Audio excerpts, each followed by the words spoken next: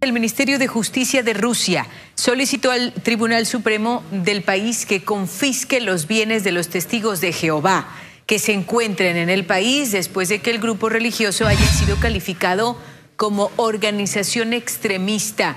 Esto luego de que el portavoz del Ministerio de Justicia, Svetlana Borichova, señaló que el retiro de los bienes de una organización es un procedimiento común tras la liquidación de sus actividades. Hay que recordar que en febrero las autoridades llevaron a cabo una inspección no programada y concluyeron que la organización religiosa había violado los reglamentos y la legislación rusa. Cambiamos de asunto. El Tribunal Supremo de Rusia ha calificado de extremista al grupo religioso de los testigos de Jehová. Esta noticia ha provocado una ola de reacciones de diferente carácter. Mientras unos apoyan la decisión, otros opinan que la medida vulnera la libertad de reunión. Nuestro corresponsal Boris Kundesov está preparado en nuestro estudio para ampliarnos las repercusiones que ha generado esta noticia. Hablamos, acompáñenme a continuación, hablamos de esta polémica sobre un culto religioso que, bueno, tiene sus detractores, también tiene sus fieles, pero queremos saber realmente lo que ha pasado aquí en Rusia. Y Boris, cuéntanos además eh, qué fue exactamente lo que ha motivado que la Corte Suprema, en este caso, tome la decisión de prohibir las actividades de este Pues tal como tú has mencionado, realmente a esa organización religiosa está suscitando mucha polémica y no solamente en Rusia, sino también en otras partes del mundo donde eh, están presentes sus sedes, donde están presentes, eh, eh, donde se presenta este movimiento. Entonces, ah, la idea de prohibir ah, las actividades en Rusia ha sido ah, la iniciativa del Ministerio de Justicia de Rusia, porque ah, ellos ah, declararon, ellos presentaron la demanda ante el Corte Supremo, el Tribunal Supremo de Rusia.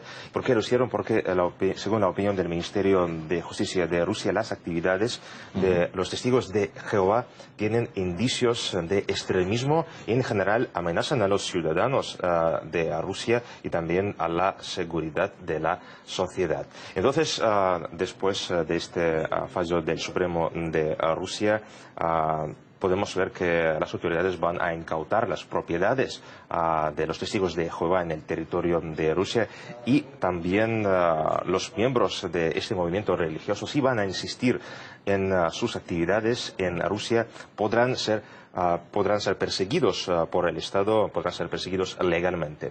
Entonces aquí vamos también a recordar algunos ah, de los casos de escándalo de gran resonancia también vinculados con la actividad de los testigos de Jehová. Aquí vemos esos titulares que hicieron mucha resonancia porque Muchos están cuestionando las reglas que tienen uh, los miembros de esa organización religiosa. Aquí vemos que, por ejemplo, las autoridades tuvieron que intervenir, tuvieron que uh, obligar prácticamente a los miembros de Testigos de Jehová a los padres de los niños que padecían ciertas enfermedades y necesitaban algunos procedimientos médicos que estaban ah, prohibidos por las reglas de testigos de Jehová. Aquí, por ejemplo, tenemos el caso de ah, transfusión de sangre, que imagínate que ah, según las reglas de testigos de Jehová está prohibida transfusión de sangre. Y ahora vamos a ver también la reacción de los usuarios. Vamos a analizar qué es lo que han puesto en Twitter y parece que muchos dicen que es una cosa positiva la prohibición, que las autoridades tuvieron que hacer ese paso hace mucho tiempo. Y también nosotros eh, tenemos eh, un comentario bastante eh, interesante, un comentario de un padre que dice que prácticamente perdió a su hija porque ella se hizo miembro de testigos del movimiento de testigos de Jehová y él explica que lo que pasó con ella fue simplemente el lavamiento de cerebro y que de hecho esa organización religiosa representa gran peligro para la sociedad. Vamos a escuchar. Esta multitud de gente está unida, aislada.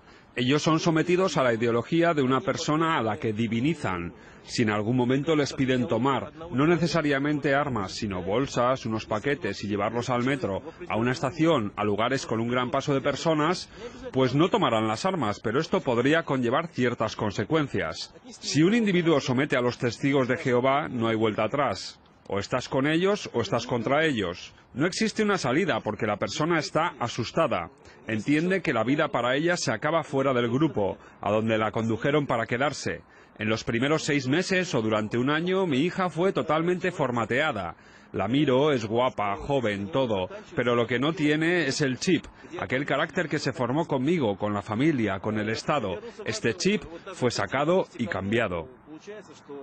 La verdad que es un testimonio bastante concluyente en este asunto. Pero Boris, hay gente que eh, no está de acuerdo con estos juicios. Pues sí, porque vamos, por ejemplo, a ver la reacción internacional, a la reacción uh, que ha, venido desde uh, la Unión Europea, por ejemplo, porque ellos uh, dicen que hay que respetar a todos los grupos religiosos. Y también aquí vamos a ver el comentario de las Naciones Unidas y de cierta forma ellos dan, digamos, el amparo a los testigos de Jehová, dicen que deben ser respetados, pero aquí también debemos mencionar un detalle bastante importante, porque eh, dentro de eh, esa organización eh, los testigos de Jehová no perciben a esas grandes organizaciones internacionales como amigos. Y aquí te doy un dato bastante particular, es que, por ejemplo, durante los últimos 80 años, los testigos de Jehová denunciaban que la ONU y su predecesora, la Liga de las Naciones, es un imperio de religión falsa cuya aparición fue presagiada en el libro de la revelación. Así es, así son las cosas. Pues vaya revelación que nos acabas de dar, Boris. Y parece que ah, eso significa que ah, los testigos de Jehová van a tener muchos problemas en futuro, no solamente en Rusia, sino también en muchos otros países. Y de hecho ah, están prohibidos no solamente en Rusia, sino también hay una larga lista de países donde están prohibidos o donde su actividad está seriamente restringida. Gracias, Boris. Pues nos hablabas de una polémica, pero vemos que al final la polémica, pues como tú bien dices, tiene un efecto dominó, no solo Rusia, sino más países. Muchísimas gracias. Buenos días, buenas tardes o buenas noches con todas las personas que están viendo este video. Yo soy Nelson Berru y bueno, ustedes ya acaban de ver estos dos videos de estos dos noticieros y pues bueno, vamos a hablar no solamente de los testigos de Jehová, vamos a hablar también de los adventistas porque bueno, primero déjenme leerles el título de lo que iba a ser este video. Rusia prohíbe a los testigos de Jehová. Siguen los adventistas y señores, sí, siguen los adventistas. Y en el trayecto de, de, la creación de este video, me llegó esta noticia que al menos yo pensé que sí iba a demorar un poquito más en pasar esto, pero vamos a leer qué dice esta noticia, que la vamos a analizar al final. Moscú, Corte considera la prohibición de la Iglesia Adventista como petición de a más de 12 millones de firmas. La Corte Suprema de Moscú considera la prohibición de la Iglesia Adventista por petición de más de 12 millones de firmas. Eh, se está, ya los testigos de Jehová están prohibidos en Rusia. Siguen los adventistas. Y quédense, hermanos, hasta el final del video.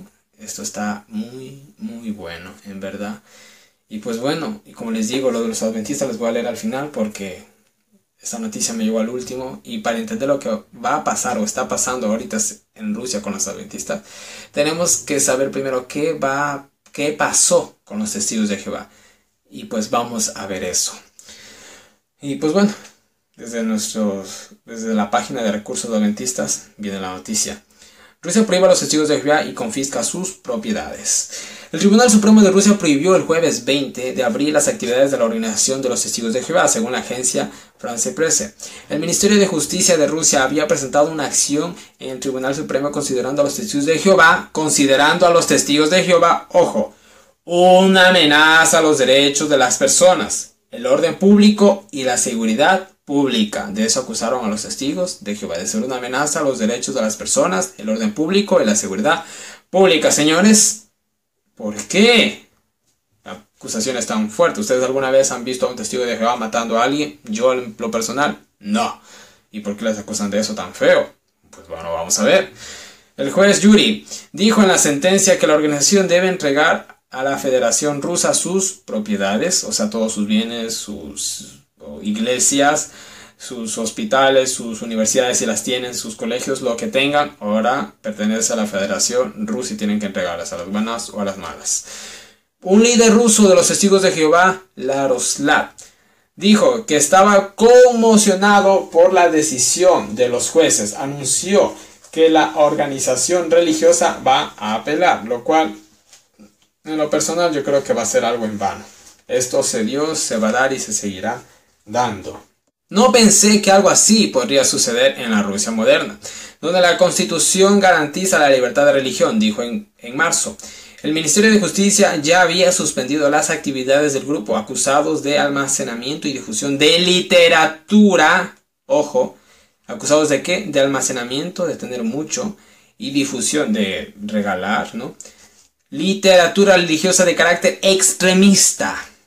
Eso, por eso, ah, es que son una amenaza porque están eh, dando literatura un poquito extremista. Señores, eh, para los que alguna vez han tenido contacto con los testigos de Jehová, sus, eh, la manera que ellos tienen de ver las profecías se parece en algo a lo que tienen los adventistas. ¿Será que esa manera de ver las profecías les ha, les ha llevado a ser tachados como extremistas? ¿Entienden por dónde voy? Y si no entienden, sigan escuchando porque lo van a entender muy pronto. Vamos a seguir leyendo. En la ocasión, el Centro de Dirección de los Testigos de Jehová en Rusia, que dirige todas las ramas regionales y locales de la comunidad religiosa, fue incluido en la lista de organizaciones no gubernamentales y religiosas que se han suspendido por extremismo. Son extremistas, ¿no? ¿Mm? El portavoz de los testigos de Jehová en Rusia, Iván Belenko, denunció en el momento a la agencia F que la decisión de las autoridades rusas privaría del derecho de la libertad de culto a los 175 mil seguidores de esta comunidad en el país, Rusia. Todos los juicios en contra de nosotros se basan en una sola acusación y por una sola acusación prohibieron a los testigos de Jehová de que algunos de nuestros libros, algunos, ni siquiera todos, y discursos están en la lista de la literatura extremista que existe en este país, dijo Belenco. ¿Pueden hacer lo mismo con los adventistas? Los que han leído el conflicto de los siglos saben lo fuerte que es ese libro. ¿Podemos ser acusados por extremistas solamente por ese simple libro? ¿Será por eso que nuestra iglesia eh, ya no comparte tanto ese material? ¿Será que están queriendo evitar la persecución? Parece que sí. Vamos a seguir leyendo.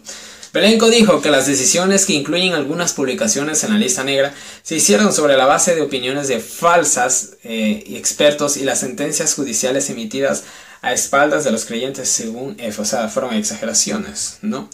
Pero bueno, vamos a seguir leyendo. El grupo religioso tiene 395 centros en todo el país, no tienen poquito y han luchado varias disputas con las autoridades rusas en los últimos años. En enero, el líder de la organización en la ciudad de... Bueno, fue multado por la distribución de material considerado extremista, multado por repartir cierto libro extremista. Pueden hacer lo mismo con un adventista, multado por repartir el conflicto de los siglos. O preso. Por las autoridades. Dice, el gobierno ruso disolvió en 2004 una rama de la organización. Una rama de la organización. Hmm, interesante. ¿Por dónde, ¿Por dónde comenzaron a perseguir a los testigos de Jehová? O prohibirlos por una rama de la organización. La iglesia adventista tiene diferentes ramas. Eh, yo sé que de la iglesia adventista hay muchos disidentes que han salido, sí. Pero hay otras personas que tienen ministerios eh, muy bien llevados bíblicamente fuera de la iglesia. ¿Será que pueden empezar con ellos? Ya que ellos sí hablan la verdad. Puede ser, ¿no? Sigamos leyendo. Una decisión que el Tribunal Europeo de Derechos Humanos consideró en 2010 en violación de los derechos de la religión y de asociación. ¿Qué más nos dice? Nota, la libertad religiosa está seriamente amenazada en Rusia. Los países que siguen su ejemplo, eh, bueno, a pesar de que tienen creencias y prácticas un tanto extravagantes, sí, bueno, los testigos de Jehová, como ustedes vieron, por ejemplo, eso de no donar sangre, eso es demasiado, ¿no? Y ya con eso sirve para tacharlos de extremistas también. Y sobre todo extravagantes. Pero bueno, no voy a meter en ese tema. Dice, los testigos de Jehová no representan ningún peligro para nadie. Sí, de cierta manera sí. Quien no quiera concordar con ellos, que simplemente no lo haga. Quien no quiera leer sus libros y revistas, que no las lea. Y quien no quiera hablar con ellos cuando llegan a su puerta, también tienen esa libertad. Decirles, bueno, señores, estoy ocupado, ahorita no tengo tiempo para ustedes. Cualquiera puede hacerlo. Están estamos y ellos también están en el derecho de respetar ¿no? esa decisión. Los testigos de Jehová no se, no se explotan por ahí y no organizan ataques terroristas. Bueno, eso es verdad. Los testigos de Jehová no son personas violentas que amenazan la seguridad de un país. Son ciudadanos ordenados y pacíficos y merecen ser protegidos por el derecho a la libertad religiosa, igual que los cristianos ortodoxos rusos y los miembros de otras iglesias y los métodos y literatura de los testigos de Jehová son considerados ofensivos y amenazadores. Esta decisión del Tribunal Supremo de Rusia establece un precedente que incluirá finalmente otras religiones en el paquete. Otras religiones en el paquete. Porque a los testigos de Jehová se les ha tachado de que su literatura es extremista, entonces ahí van a entrar no solamente ellos, sino también los adventistas del séptimo día. Que eso ya está sucediendo. Y vamos a leerlo otro, de otro punto de vista. La página señales del fin. Rusia confisca los bienes de los testigos de Jehová. Y vamos a leer rápidamente. ¿Qué nos dice aquí? Se trata de un mensaje directo a las organizaciones religiosas que no quieren someterse al cuerno pequeño. Pues bueno, yo al menos no comparto esa idea. Yo creo que lo que está pasando con los testigos de Jehová es simplemente para llegar a los adventistas. Se cogieron de los testigos de Jehová, son el chivo expiatorio, porque cualquiera que eh, estudie un poco de la historia de los testigos de Jehová va a saber que ellos salen de la iglesia católica. Entonces ellos simplemente son un chivo de expiatorio para llegar a los adventistas desde mi punto de vista. Puedo estar totalmente equivocado, pero al menos en, el, en base al conocimiento que yo tengo es la deducción que yo saco. Pero vamos a leer. Las autoridades rusas concluyeron que esta organización había violado los reglamentos y la legislación rusa respecto a la lucha contra las actividades extremistas. El Ministerio de Justicia ruso ha solicitado al Tribunal Supremo del país que confisque los bienes de los testigos de Jehová que se encuentren en territorio ruso después de que el grupo religioso haya sido calificado como organización extremista. Prácticamente lo que dice la, decía la noticia anterior. Días atrás, la portavoz del Ministerio de Justicia, este, Klana Borisova, había declarado que el retiro de los bienes en una organización es un procedimiento común tras eh, la liquidación de sus actividades. O sea, se, se prohíbe sus actividades, ahora sí, vengan todos nuestros bienes. Eso le está pasando a los testigos de Jehová y va a pasar con nosotros. En el mes de febrero de 2017, las autoridades rusas llevaron a cabo una inspección no programada y no programada, simplemente cogieron, llegaron de sorpresa y chao y concluyeron que esta organización había violado los reglamentos y la legislación rusa respecto a la lucha contra las actividades extremistas. O sea, violaron todos. O sea, no tuvieron la ética ni siquiera de avisar, simplemente cogieron, cayeron de sorpresa. Interesante. Vamos a seguir leyendo. El extremismo definido por una ley aprobada en 2002, miren esto, pero enmendada y ampliada varias veces en desde entonces, se ha convertido en una acusación general que puede ser desplegada contra casi cualquier persona o cualquier grupo religioso, como ha sido contra algunos de los involucrados en recientes protestas contra la corrupción en Moscú y decenas de otras ciudades. Prácticamente pueden tachar de extremista a quien sea, hasta un gato que está cruzando por la calle, por así decirlo. Y todo desde el año 2001, las Torres Gemelas, etcétera, etcétera. ¿Qué más dice? Desde el punto de vista del Estado ruso, los testigos de Jehová están completamente separados, dijo eh, Geraldine Fagá, autora de Creyendo en Rusia, política religiosa después del comunismo. Ella agregó, no se involucran en la política, pero esto se ve como una sospechosa desviación política. Eh, como los testigos de Jehová no, se, no intervienen en la política, eso se ve medio raro, ¿no? Oye, ¿por qué será que no porque los testigos de Jehová no votan, o ellos eh, les prohíben totalmente sus líderes no votar. Y, los, y los adventistas del séptimo día, bueno, ahora tenemos a un eh, representante nuestro en, el Senado de los Estados, bueno, en el gobierno de los Estados Unidos, Ben Carson. ¿Será que Ben Carson, la posición de Ben, ben Carson, fue estratégica? ¿Será que nuestros líderes impulsaron a Ben Carson a votarse a la política para evitar la persecución, señores? No lo sé. ¿Será que por eso hasta el día de hoy no lo han borrado? Porque los adventistas no debemos meternos en política. Pero Ben Carson está metido en política, está trabajando con políticos, está trabajando con Donald Trump y los líderes no han hecho nada. ¿Será que la posición de Ben Carson en el gobierno de los Estados Unidos no es casualidad? Da a pensar. No sé ustedes. Vamos a seguir leyendo. La idea de que una persona tenga una actividad religiosa independiente y pública que está completamente fuera de control y también indiferente del Estado pone a la Iglesia Ortodoxa y en los servicios de seguridad todo tipo de campanas de alarma, dijo, ¿no? Bueno, su desprecio por el Estado, eh, bueno, su desprecio por el Estado. Según dice un informe preparado para el Ministerio Público, erosiona cualquier sentido de aflicción cívica y promueve la destrucción de la seguridad nacional y estatal. Bueno, nosotros los adventistas respetamos eh, a las autoridades eh, que nos gobiernan, estemos en el país que estemos, las respetamos siempre y cuando no este, afecten nuestra libertad de culto. ¿Ya? Y si llega a suceder eso, aplicamos lo que dice Hechos 5.29. Es preferible obedecer a Dios antes que a los hombres. Pero vamos a seguir leyendo. Para los líderes de la denominación en Rusia, la aguda escalada en una larga campaña de acoso, porque eso viene desde hace rato, previamente impulsada en su mayoría por funcionarios locales, atrajo horribles eh, flashbacks a la era de la Unión Soviética. Perdón. Nunca esperé que volvamos a enfrentar la amenaza de la persecución religiosa en la Rusia moderna. Una de las razones principales por las que están siendo atacados es simplemente que son un objetivo fácil, dijo Fagan no votan, por lo que nadie va a perder votos atacándolos. Bueno, como ellos no votan, ningún político pierde, entonces vamos con ellos. Eh, bueno. El ataque a los testigos de Jehová también envió una señal que incluso, miren, la más leve desviación de la norma, la más leve desviación de la norma, si se proclama públicamente, es insistentemente, puede ser castigada bajo la ley anti-extremismo que fue aprobada después de la Segunda Guerra en Chechenia y los atentados del 11 de septiembre en los Estados Unidos. La más, ¿qué cosa dice? Leve desviación de la norma. Ahora, ¿será extremismo pensar que los Estados Unidos es la bestia que sale del desierto y que un día va a mandar este, a ejecutar a los que no guarden el domingo? Eso es una idea muy extremista desde el punto de vista de estas personas. Una idea, una idea muy extremista es que el papado algún día va a gobernar el mundo como lo hizo en la Edad Oscura o en la Edad Media, que es lo mismo. Señores, eso es una idea muy extremista.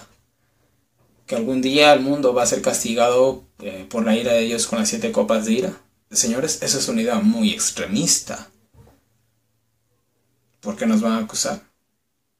Por ser extremistas. Y esto ya está sucediendo. Analicemos el video que vimos al principio y después de esto vamos a hablar de los adventistas en Rusia. Dice, yo destaqué tres puntos del video, sobre todo del video en el que están los dos periodistas. Dice, no perciben a esas organizaciones mundiales como amigos. ¿Refiriéndose a qué? La ONU es un imperio, estas fueron las palabras de los testigos de Jehová, según estos periodistas. La ONU es un imperio de religión falsa cuya aparición fue presagiada en el libro de Revelación o Apocalipsis, como lo conocemos más popularmente, ¿no? Eh, y el tercer punto que rescaté dice, y eso significa que van a tener muchos problemas en el futuro con muchos países. Pues son las palabras de los periodistas. Lo que les trato de decir es que esos periodistas estaban diciendo que como los testigos de Jehová no perciben esas organizaciones mundiales que hacen tantas cosas buenas, ¿no? nosotros ya sabemos cuál es el trasfondo de todo eso, ¿no? Este, como amigos, este, ellos van a tener muchos problemas. Son extremistas porque no ven a esas organizaciones mundiales como amigas. Nosotros, ¿qué pensamos de la Unión Europea? No viene de la profecía de Daniel capítulo 2, los dedos, eh, los tres cuernos que se le caen a la bestia de Apocalipsis 7, el cuerno pequeño, los siete cuernos que quedan, que son los siete países que hoy en la actualidad se conocen como la Unión Europea, etcétera, etcétera. Esa está en la profecía. La, para nosotros, la Unión Europea está en la profecía. Y podemos ser tachados de extremistas solamente por pensar en eso. Y ahora, este, eh, los testigos de Jehová tienen esos pensamientos y por eso han sido tachados por extremistas. Y lo mismo les va a pasar, les está, perdón, pasando a los adventistas del séptimo día hoy en la actualidad en Rusia, pero vamos a ver en este momento, analizar esta noticia, ya que hemos comprendido lo que les ha pasado a los testigos de Jehová, vamos a pasar, vamos a poder, perdón, entender lo que les está pasando a los adventistas en Rusia. Pues bueno, como ya les leí, el encabezado de la noticia dice Moscú considera la prohibición de la iglesia adventista eh, como petición a más de 12 millones de firmas. Y pues bueno, vamos a ver qué ha pasado con los adventistas en Rusia. Moscú. Un aviso en el Tribunal Municipal de Moscú dice audiencias sobre una propuesta de prohibir a la iglesia adventista del séptimo día. Comenzaron en mayo del 2017. Como una petición abierta conjuntamente por las organizaciones no gubernamentales tiene, recibe más de 12 millones de firmas. Eh, lo que es el encabezado. La iglesia adventista que ha sido acusada de violar la legislación antiterrorista con su ministerio de evangelismo, tiene también, son grupos como los testigos de Jehová y ISIS, como extremistas y terroristas por las distintas organizaciones. Dios mío. Nos están incluso acusando de como si fuéramos ISIS y el Estado Islámico. O sea, señores, ¿ustedes entienden esa acusación que nos están haciendo? Compararnos con el Estado Islámico, con ISIS, no es una acusación pequeña. ¿Cuánto falta para la persecución? Me pregunto yo, ¿cuánto falta para la persecución? ¿Estamos preparados? Vamos a seguir leyendo. Eh, Caterina, un abogado de Estado, dice, Rusia toma casos de extremismo y el terrorismo muy grave y se espera que la prohibición para ser colocado en la adventista en mayo, en mayo, para que esta ley antiterrorismo, antiextremismo sea colocado sobre los adventistas en mayo. Se está pidiendo eso este mes. La ley dice, parte de un paquete de leyes contra el terrorismo esboza severas restricciones a la actividad evangelística en Rusia, que entre otras cosas limitan la, actividad religiosa de edificios de la iglesia registrados y prohibir la distribución gratuita de literatura religiosa. Las personas que desobedecen se enfrentan, se enfrentan a multas hasta de 50 mil rublos, 765 eh, dólares, mientras que las organizaciones podrían ser multadas hasta un millón de rublos, unos 15.250 dólares. Señores, y ahí se cumple eh, las palabras del ángel Guay, que nosotros nos va a tocar predicar el Evangelio en las más duras condiciones, que lo que no hemos hecho en tiempos de gracia lo vamos a tener que hacer bajo las peores circunstancias. Y esto ya está sucediendo. Esto ya está sucediendo. Adventistas del séptimo día es hora de despertar. Vamos a seguir leyendo. Según la ONG, la organización religiosa se ha convertido en un punto de violar las leyes con la esperanza de pagar multas cuando se ven atrapados. Esto que describe como la falta de respeto de la legislatura. La Iglesia Adventista del Séptimo Día y otras denominaciones cristianas en Rusia se oponen al extremismo y el terrorismo, dijo División Euroasiática. La División Euroasiática dijo eso, de un comunicado, de la Iglesia Adventista en un comunicado por correo electrónico. No hace falta decir que es importante y necesario que los gobiernos adopten medidas para luchar contra el extremismo y el terrorismo. Esperamos que la aplicación de esta ley se aplicará exclusivamente a las organizaciones terroristas y extremistas y aquellos que comparten sus creencias. Fue el comunicado eh, de la Iglesia Adventista en Rusia. A pesar de los intentos de distanciarse del extremismo y el terrorismo, la Iglesia Adventista tendría su destino decidido en mayo, hermanos. Este mes se sabe todo. Hace pocos días la prohibición fue colocada en los testigos de Jehová en Rusia por ser extremistas. Y ahora siguen los adventistas. Eh, yo estoy atónito, sinceramente. Yo sé que, bueno, aquí se cumple lo que Dice la profecía, los eventos finales serán rápidos. Y esto no está cayendo encima. Eh, pero bueno, les voy a leer un par de citas para terminar esta noticia que está un poco larga, pero realmente para mí fue imposible hacerla corta. Pero bueno, vamos al final de este video. Segunda de Timoteo 3:12. Por lo demás, todos, todos los que aspiren a llevar una vida cristiana auténticamente piadosa sufrirán persecución. Esta traducción la saqué de la Biblia hispanoamericana, que me pareció muy, muy clara. Todos los que aspiren a llevar una vida cristiana auténticamente piadosa sufrirán persecución. Hermanos, eh, tenemos que pasar por la persecución. Y pues bueno, Vamos a leer un par de citas que están en el conflicto de los siglos. Dice, cualquiera que crea u obedezca la palabra de Dios incurrirá en oprobio y persecución. Hermanos, nada va a evitar eh, que, nos alcance la persecución, nada. Aunque la iglesia haga tratos con Roma, con el gobierno, no va a evitar eh, que nos alcance la persecución. Bajo el reinado de Roma, los que sufrieron la muerte por causa de su fidelidad al Evangelio fueron denunciados como malhechores. Se los declaró en liga con Satanás y se emplearon cuantos medios se pudo para cubrirlos de oprobio y hacerlos pasar ante los ojos del pueblo y ante ellos mismos por los más viles criminales. Y en este momento a los adventistas se lo está comprando tan, o sea, como a ISIS. La profecía se está cumpliendo frente a nuestras narices. Cristo viene pronto.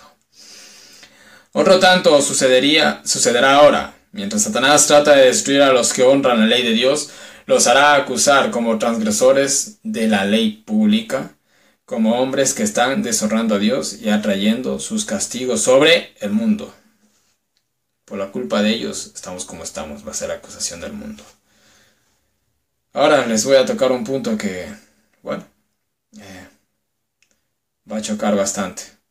Adventistas nominales. Primero les voy a leer esto. Dice, a los que participaron en la proclamación de los mensajes del primer ángel, la hora de su juicio ha llegado, y del segundo, salí de ella por lo mío, pero rechazaron el mensaje del tercer ángel, la marca de la bestia, y su verdad del sábado, si bien continuaban abrazando la esperanza adventista de que Cristo venga pronto, la señora White los llama adventistas nominales, porque rechazaron el mensaje del tercer ángel.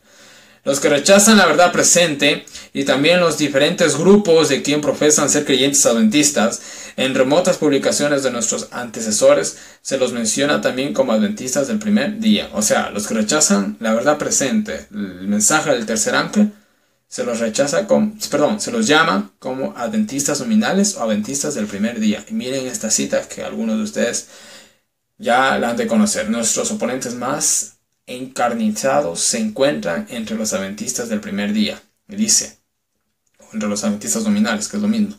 No participan en la lucha honradamente. Hablan a tus espaldas, te miran feo, siembran cizaña, te difaman, mienten sobre ti, etc seguirán cualquier curso de acción, por irrazonable e inconsistente que sea, para encubrir la verdad y tratar de que parezca que la ley de Dios no tiene vigencia. Todo para evitar la persecución. Se jactan de que el fin justifica los medios. Lo importante es llevar almas a Cristo. Hombres de su grupo, en quienes no tenían confianza, iniciarán una diatriba, discurso violento e injurioso lo que significa la palabra diatriba. Contra el día de reposo del cuarto mandamiento. Hoy en la actualidad se, está rechazando el sábado en la iglesia adventista. Señores, y con cada acto que no honra el día sábado se lo está haciendo. Con la falta de reverencia y la falta de, eh, de espiritualidad, la falta de, ¿qué les puedo decir? Que cada vez vemos más y más que crece en iglesia en contra del sábado estamos, ¿qué cosa? Hablando, estamos actuando en contra de él. Dice, y le darán publicidad a sus declaraciones por falsas, injustas y hasta ridículas que sean, si pueden hacerlas efectivas en contra de la verdad que odian. Hermanos, eh, yo sé que esta noticia muchos han de escribir, ah, esto es alarmismo, eh, nosotros que ni siquiera, que ni si cuánto, eh, no asustes a la gente. Hermanos, esto va a suceder hable o no hable. Así de simple. Y espero que con este video muchos despierten, por favor. No tenemos tiempo que perder. Quizás seamos llamados faltos de juicio, y necios, fanáticos y aún locos. Quizás se diga de nosotros como se dijo de Cristo, demonio tiene. Pero la obra que el Maestro nos ha dado para realizar en todo es todavía nuestra obra. Debemos dirigir la mente a Jesús sin buscar alabanza u honor de los hombres, sino entregándonos a aquel que juzga rectamente. Hacerlo por Dios, todo lo que hagamos, hacerlo por Dios. Él sabe cómo ayudar a los que, mientras siguen en las pisadas de Jesús, sufren en cierto grado el reproche que él soportó. Sin el árbol verde hacen esto que harán en el seco, fueron las palabras de Jesús. Fue tentado en todo como nosotros lo somos, para que supiera socorrer a los que son tentados. Una cita más. En medio de la prueba y la persecución, la gloria, el carácter. de Dios se revelará en sus escogidos. En medio de la persecución, el carácter, la gloria de Dios se, revela en sus escogidos. Es por eso que es tan necesaria la persecución, hermanos. No es, por ser, no es que somos masoquistas, sino que el verdadero amor, el verdadero cristiano, se ve en las malas. Los creyentes en Cristo, odiados y perseguidos por el mundo, son educados y disciplinados en la escuela del Señor. En la tierra andan por caminos angostos, son purificados en el horno de la aflicción. Siguen a Cristo en medio de penosos conflictos, soportan la negación y experimentan amargos chascos, pero así aprenden lo que es la culpa y miseria del pecado. Así ven, así ven lo que es el pecado. Lo viven en carne propia. Y llegan a mirarlo con aborrecimiento. Al ser participantes de los sufrimientos de Cristo, pueden ver la gloria más allá de las tinieblas y dirán, porque tengo por cierto que lo que en este tiempo se padece no es de comparar con la gloria venidera que en nosotros ha de ser manifestada. Romanos 8, 18. Señores, todo lo que suframos nosotros no es nada para la recompensa que recibiremos en el cielo. Hermanos, sé que este video ha sido algo largo, eh, pero ha sido tan necesario. Y pues bueno, hermanos, mi WhatsApp para todos los que quieran recibir toda la información que suba a diario. Eh, y pues bueno, también para los que me deseen colaborar con donativos voluntarios para dedicarme a, esto más seguido. Eh, justamente subo esta noticia tarde, debía subirlo hace tiempo, pero tengo mis necesidades y tengo que trabajar para ellas. Y pues bueno, he estado un poco ocupado y por eso no he podido subir la noticia a tiempo. Pero bueno, ahí están los donativos para los que me quieran colaborar y me puedan ayudar a subir estos videos más pronto. Y bueno, y pues bueno hermanos, eh, síganme por favor. Voy a estar pendiente de lo que suceda con los adventistas en Rusia, porque esto no, les, no se los van a compartir en sus iglesias los pastores, se lo da seguro. Ni va a venir un comunicado de la conferencia general ni nada por el estilo avisándonos de que la persecución está por comenzar. Eso no va a suceder, no va a suceder, créanme. Y pues bueno, mis queridos hermanos, creo que no tengo más que decirles, he hablado demasiado. Que Dios nos ayude a seguir adelante. Que Dios los bendiga.